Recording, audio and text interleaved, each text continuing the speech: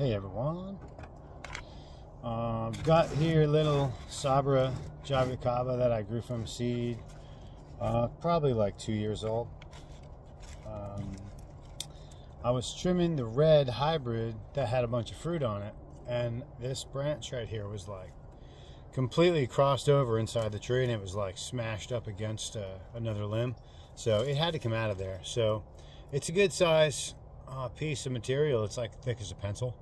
So I actually took a bunch off, but this was the biggest one, and I, I justified in my own head. I'm like, you know what? I have a million of these things. I don't have to do every one of them. Um, so what I will do first is I'm going to look at the thickness of this. try and match it up with the thickness. This guy.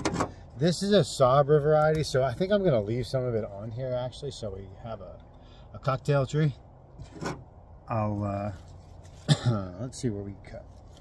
Where can we get this sugar in? She sure looks like she matches up pretty well right in that range, so here's the part that freaks everyone out. It's like, bonk, you knock the head off the tree.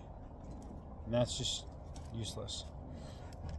Um, yeah, I'm gonna pull this little one out too. I'm gonna take this guy out. I'm gonna take.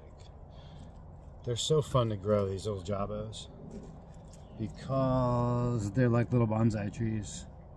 Think uh, Mr. Miyagi's little bonsai trees. This is them, and they fruit. So super neat. So you can grow them kind of any way you want. So that's what that guy looks like now, just one branch. But I'm gonna stick this piece of red on here, and hopefully she works. So there's a couple steps I am by no means El Experto. That would be Adam at Flying Fox. Uh, watched a lot of his videos to learn how to do this. Um, I've been pretty successful lately, so I feel pretty good about doing some videos myself.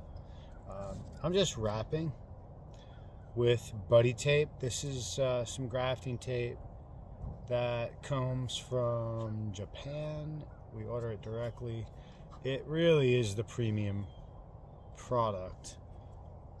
I haven't used any other tapes that were better. This stuff, it just stretches so nice.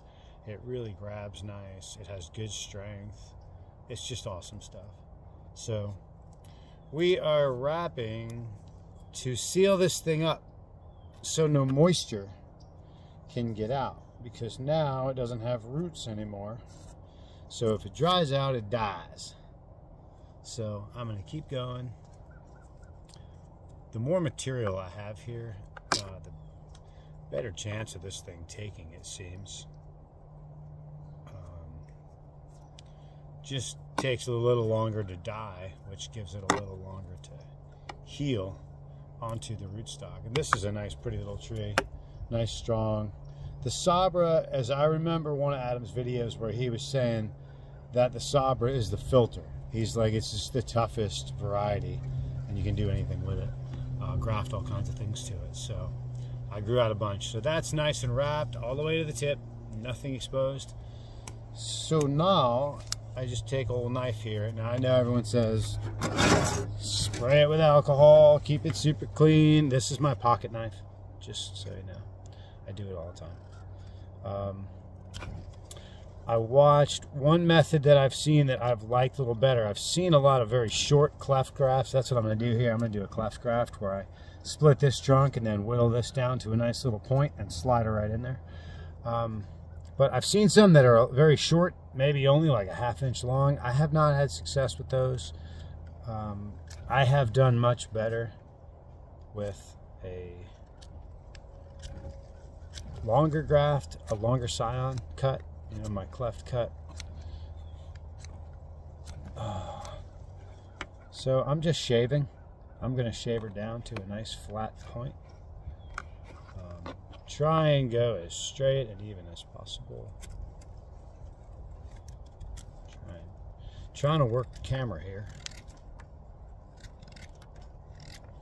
I've been trying to keep good content coming up and uh, had to cut a nice piece of tree off of one, so I thought, hey, I don't think I've done this video yet. Um, Jabuticabas, I've actually had a lot of luck grafting. Um, my first, the first thing I ever got to take uh, was a red Cava on a Sabara that my buddy brought over me a brought me a piece off of his tree.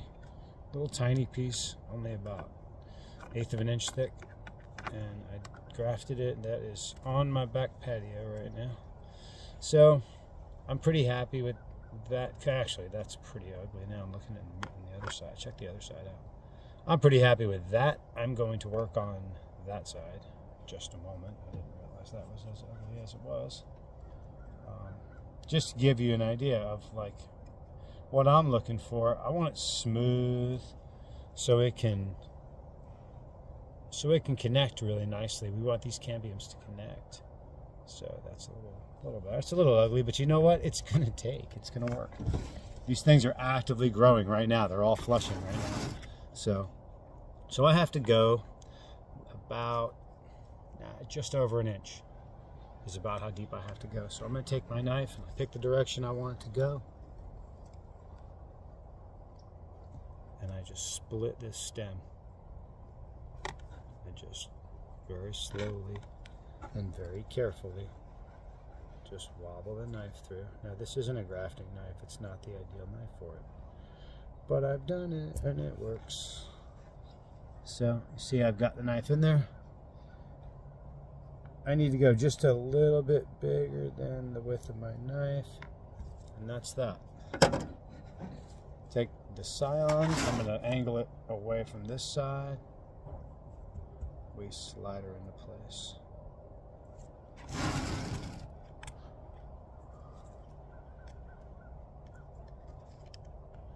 And the idea is get it as even as possible so it's connecting on both sides with as you know, having those surfaces as even as you possibly can. Um, but you look at them, and if you can get it pulled nice and tight, they're they're generally going to take. I'm going to pull that in here so you can see. So when I wrap it, I'm going to squeeze it even tighter. Um, I have even put zip ties around them, and that sucks it down really tight. If I don't feel like I got it tight enough, I might pop a zip tie around it. Um, and then just cut it off after they push and after it holds. Sometimes they push and it doesn't take.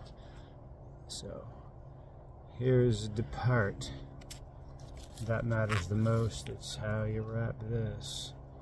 Seems to make it or break it. So that cut is pretty tight, so it's holding that scion in there pretty good. So now it's just a matter of keeping this sealed completely. It's airtight, watertight. We don't want anything getting in there. Water will rot it. We don't need none of that. So now that I've made it up and over, I've completely sealed it. Back down. And now I'm going to do this other type of wrap. What's cool about this tape is if you twist it as you're wrapping it, it becomes more like stretchy rope. I'll show you what I'm talking about. Like that. You just twist and pull and it becomes string. Super nice trick for wrapping it tight for finishing it up.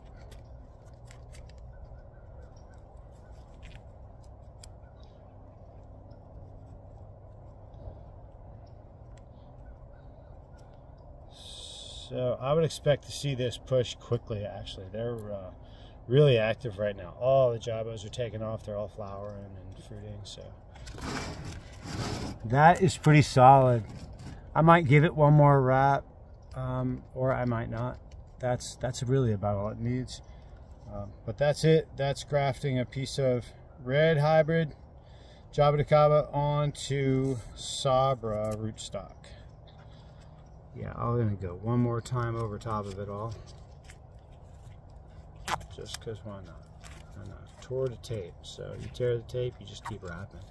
It stretches so nicely and then just sucks back down beautifully. Keep that union nice and tight and then it's gonna work.